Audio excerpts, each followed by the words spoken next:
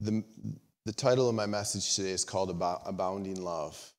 And I really felt like it was spoke to me the day um, I spent the day at the uh, funeral home during the viewings for Pastor Spiller. And that morning, I really felt like the Holy Spirit, and I didn't really quite understand exactly what he was saying to me, but he says, Your hope abounds. And um, so that really helped carry me through that day. And I wasn't certain exactly, I, I thought that word was for, for just that time, but I, I, felt like just even in praying and just seeking the Lord, um, it's, it's, it's more than that. That God has given us an abounding hope. And I believe that is actually the word for this year. Yeah, abounding hope. Hope is the word for this year. And as we kind of come into the new year, I just feel like God's hope will meet us in every area and every avenue of our life. Because I'll tell you this we've been through some stuff, haven't we? We've been through a lot of stuff, especially in these last couple years. And um, you know, it's, it's even started to affect me. And if I'm just being honest with you, it's been affecting me even a little bit. It's kind of like, okay, God, what's around the next corner? Have you ever felt that way before? Okay? And it started, it started to kind of to, to jade me a little bit and, to, and to, to, to skew my perspective. But this is the passage that I want to share with you this morning that, that comes from that. And it's Romans 15, 13. And it says, now may the God of hope fill you with all joy and peace in believing that you in believing that you may abound in hope by the power of the Holy Spirit. And it's so powerful. And, there's some words in there that even the English language doesn't really give us a full understanding of what is being said here. And this is Apostle Paul speaking to the church. And he says, May the God of hope, this God that we can have good expectations. How many of you guys want good expectations, right? Come on. We need to have good expectations because we serve a good God, right? Amen? And then, so when it says, so may this God of hope, and it goes so much beyond that, but but this God of hope, and then it says fill. And you know what that word fill actually means in the original language?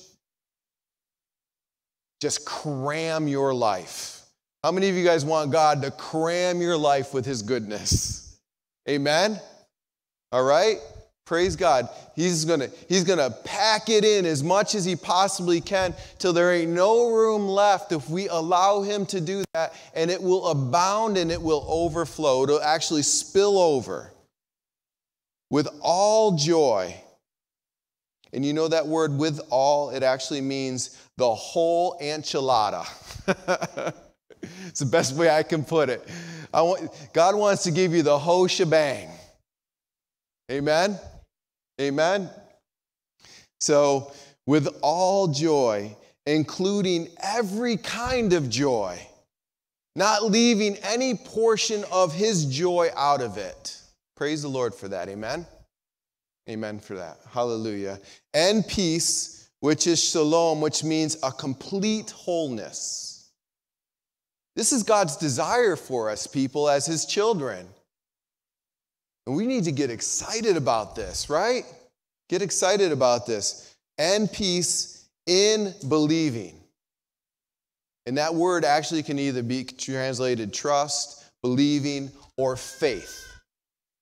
Now, that word has to have a target, and that target is in Him, in Christ. So as we place our trust and our hope and our faith and confidence in Christ, it says, the God of all hope will cram our lives with all joy, the whole enchilada, and all peace, complete wholeness.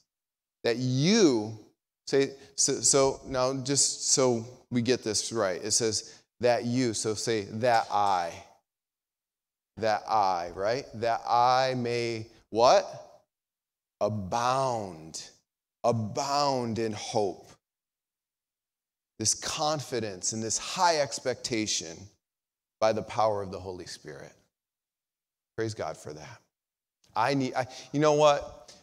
You guys might, you guys might be like, you might be like a few levels ahead of me in, the, in, your, in your walk with the Lord right now or whatever for 2022, but I needed that. I don't know if you guys needed that, but I needed that because because this is the this is the thing is because of all the trials we've kind of been through through all of these uh, different really they almost seem like tragedies that have taken place within our lives it's it's really kind of just kind of beat me a little bit down.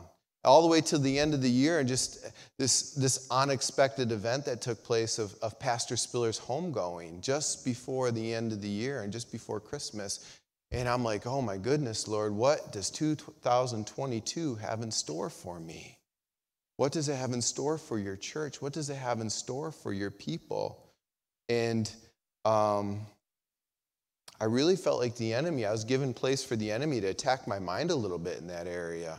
I don't know if you guys have, but I have. And started to really contaminate my thoughts. And as I searched the Lord for like a word for 2022, I felt like, okay, Lord, is it going to be like, is it going to be repentance? And, you know and it, and it was me like eh, really just trying to force god to speak and saying okay god is it going to be long suffering is it going to be perseverance? What's it going to be lord? And over and over again i just kind of kept going to him and saying like god like what do you have i had this attitude of of this year is going to be tough it's going to be a tough year ahead of us and it wasn't until like I really just quieted myself, I really felt like the Lord just corrected me on this and said, "Son, you need an attitude change." and I'm thankful for that. Yeah, y'all y'all y'all relate a little bit? Is God giving you an attitude adjustment once in a while? Just once in a while, I needed an attitude adjustment. Yeah, daily. Yeah, moment by moment at times, right? And um, I needed one, you know. And then I started to, as God started to speak this word hope into me, I started to, like, He started to just, like, start to saturate me with His scriptures and His words and His promises for His children. And, like, as I felt like He was just flooding my life with these things, like, I'm seeing all of these incredible promises that God has in store for His children. It doesn't mean that we're not going to face um, difficult things. I'm not saying that 2022 is going to be a, a cakewalk. That's not what I'm saying. But what I am saying is that the Lord God has promised His presence and His power in our life to the extent that we can walk through any challenge and meet any need or anything that arises to challenge us. Amen? And we can do it not only just, we, we can't just survive 2022, but we can thrive in 2022 to the point where God will use us to be instruments of, of hope to the world, to say, wow, how can these people accelerate and do so well when there's so many things and so many um, that, uh, circumstances that could seem to be against them? Or, or to rob them of their joy, or to rob them of their peace, or to rob them of their security. But we have that in Christ. We have that in Christ. I pray I praise God for that. Hmm. So with that being said, this is I'm gonna, I'm, gonna, I'm gonna just touch on a few just quick things, and we'll probably come back to this next week because I don't have a time to really get into the whole thing. But what I come to realize in, in, in this kind of walk with the Lord is I have to be really careful of where I'm placing um, my heart, what my heart is hoping for, what my expectations are. Because if, if we're not careful, the enemy knows something. He knows if we can put our hope in things maybe that the Lord doesn't have for us, he will do, he will start to work his own agendas in our misplaced trust. And that can be a slippery ground to become and have a sick attitude. You guys following me on that? So if we're not being careful to allow the Holy Spirit to make sure that we're placing our, our trust in the right areas, the enemy can make us put our hope into certain things that might seemingly look good, but might not be on God's agenda. And then as those things don't start to unfold and we're waiting for the wrong things, our heart can grow sick, our attitude can become t- uh, contaminated. So let me show you in, in Scripture. Proverbs 13. And this is what the world's doing right now. The world's saying, man, I hope that 2022, I mean, you if you, if you stayed up for the ball drop and you hear people saying, you know, and I heard it last year, 2021, where they says, you know, 2020 was awful. Let's get the heck out of 2020 because 2021 we're going to hope that everything's going to kind of smooth out, everything's going to be clear sailing. This pandemic's going to kind of go away and all the mandates and all the all the garbage that's taking place in our world right now and the economy and and the leadership and government and all those things and um, we didn't quite see that in 2021, did we? And if we're hoping in, in, those sorts of things, the natural instead of the supernatural, and we're not seeing anything manifesting, and we're saying, God, well, you promised that, that I'm going to have prosperity, and, and I'm applying your prosperity to certain areas. Maybe God's saying, No, I'm, I'm working in those areas to draw people to myself. You get it? Proverbs 13 12 says, A hope deferred, which that word deferred means put off, delayed. Hope deferred makes the heart sick. And that word heart means the entire inward man, talking about the, the mind, the emotion, and the spirit. And the enemy well knows this tactic. So if he can get us hoping, which might seemingly look good, in the wrong areas, and we're just waiting on God, but we're just not listening to the leading of the Holy Spirit in that, he can start to cause us to grow sick and slanted in our inward man or inward woman. So don't allow the enemy to, to mislead our hope in the wrong things. Be very careful that we are waiting on the right things. And let me, sh- mm, I'll go into it next week. But if you want to study it, read uh, Jeremiah 29. And we know Jeremiah 29 11 talks about the plans God has for us. But if you read the verses before, it's going to show you something really cool. And I'll, I'll talk about that next week. So, but let me give you an example. And God gives us the antidote for it it says, but a longing fulfilled. And the end of that verse goes like this in Proverbs 13 12. It says, but a longing fulfilled is a tree of life. It's a tree of life. Praise the Lord for that. And, um, you know, I'm going to jump into some other things. There's some amazing scripture, scriptures in, in Hebrews that talks about how hope is the anchor of our soul and it holds steadfast and it talks about some of the promises of God. And I'll, I'll touch on that next week. If you want to look at it, it's Hebrews 6, 18 and 19. Powerful verses. That's impossible for God to lie. And basically, Jesus is our source. And if we have Jesus as our source, we will always arrive to our destination. Always arrive to uh, the desired destination that God has for us. Amen? So let me give you an example and then I'm going to close. It says this it says, This is my example. And uh, it's, it's recent with Pastor, Pastor Gordon. And I never thought what was going to take place was going to unfold. Not in my wildest dreams. He had a cold. Thought, you know, it's just a cold. A bit over it. And then the cold got worse. I thought, okay, well now it's now it's a bad cold, but it's just a cold it's going to get worse. And then all of a sudden, I'm getting a phone call in the church, me and Pastor Jim, that he's going to the hospital. So, okay, now it's a serious cold. And this thing kind of just kept progressing and progressing to the point where we are today. And we were praying, we were interceding, we were believing in a miracle, we were believing in healing.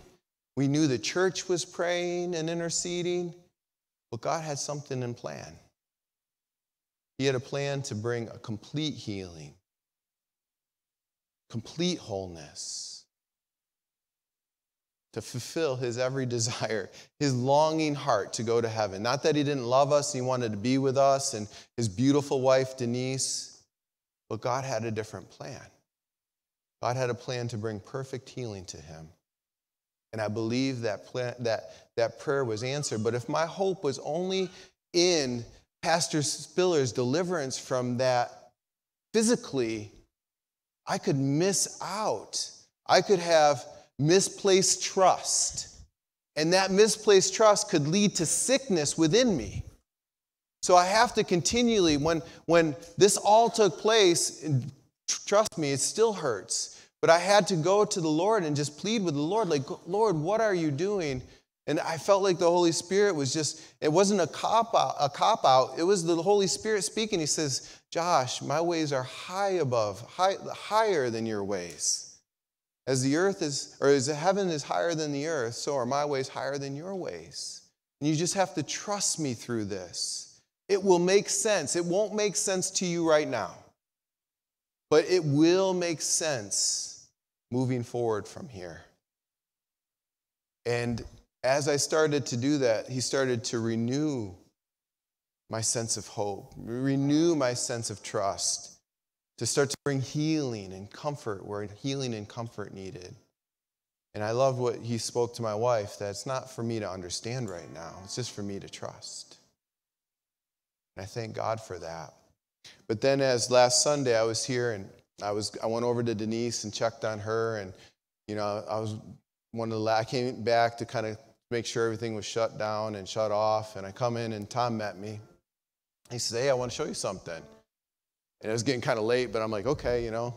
So he takes me back, and he didn't tell me what. He took me back to the sound booth, and he says, You know, Josh, um, something interesting. So he pulled up the video of Pastor Spiller on, on the week that he was preaching just a few weeks ago. Some of you already know it, but many of you don't.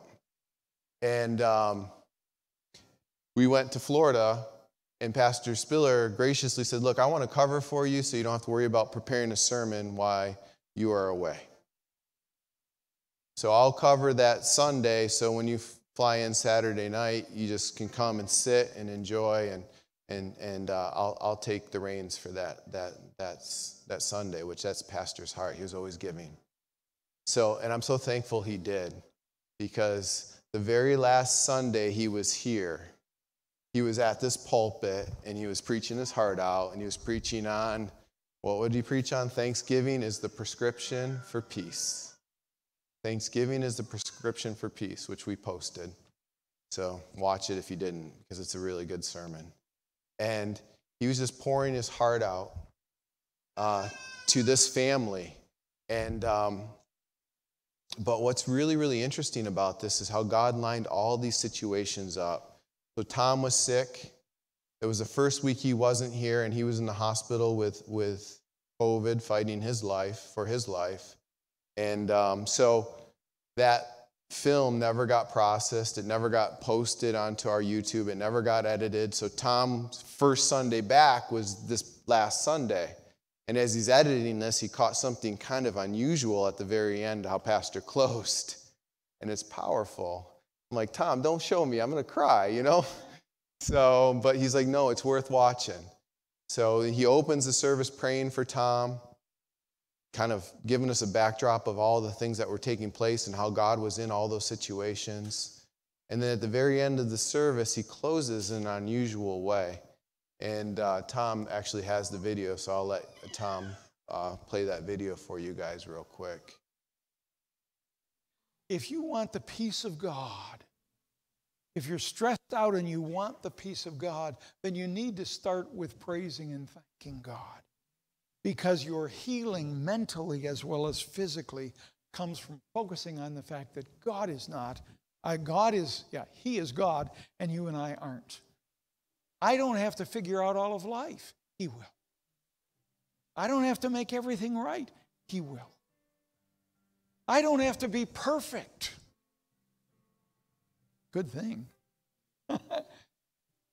because there'll come a day when either through the undertaker or the upper taker, I am perfect. And if it's the upper taker, I'll be there the same time you are. You and I will be perfect together. And if it's the undertaker, I don't know whether it'll be before you or after you, but he'll make us perfect when he takes us to heaven. Before then, you can't be, you won't be, and it doesn't matter because we're all imperfect. We all need Jesus. That makes sense. He, the Holy Spirit was leaving his address right on the table. That was the last words he said before he closed in prayer. He knew where he was going. The Holy Spirit already had arranged it all. And he's saying, you know what? I might be called home before you, but you know, you'll know where I am, and I'll be waiting there for you. Praise the Lord. So that's our hope. Our hope is in him. Our hope is in his promises. Our hope is in the future that he has secured for us. We praise God for that. Everything else is just detail, right?